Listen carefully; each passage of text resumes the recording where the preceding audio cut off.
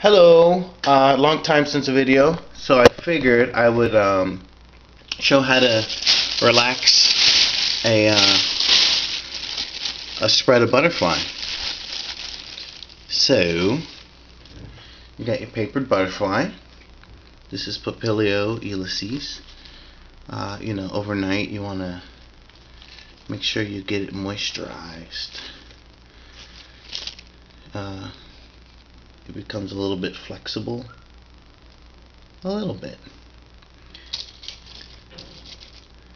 You take your pin and you insert the pin into the butterfly somewhere below the head. Usually doing at an angle. Sorry, my hand's all up in the way. Oh well, you my videos aren't perfect. Anyway, I'm right-handed too. Then you pin it on the layout board, as so. I usually push the wings back a little bit to open them.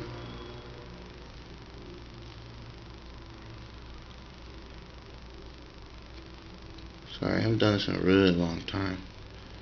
And this isn't even a Ulysses. Oh yeah, it is. Anyway, what you do next is you take the wing, press it down, and then with gentle motion you spread the wing the um, upper wing upward until it's as wide as you need it. Then you put the the glass down on it. Do the same thing with the other side.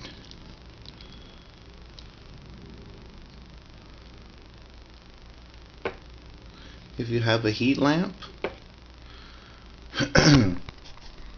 and she's open or he if you have a heat lamp, you can put a um, you can turn on the light and do it that way. Sometimes you can put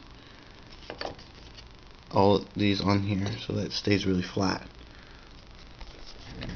If you don't want the butterfly completely flat, you can, before it's completely dry, you can take the glass off the wings and it will dry a little like the wings are in, in flight or whatever. That's it.